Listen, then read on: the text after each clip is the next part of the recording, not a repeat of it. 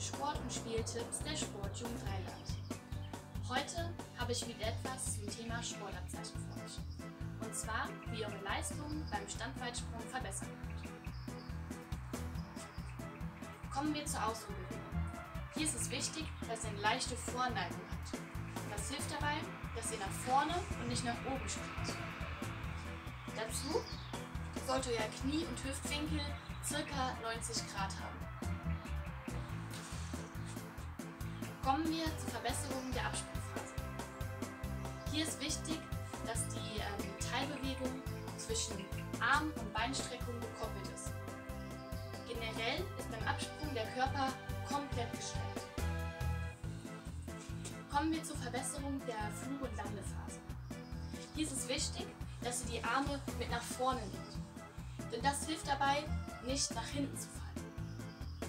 Generell könnt ihr die Landephase separat einfach mal üben. Viel Spaß beim Nachmachen und bis zum nächsten Mal.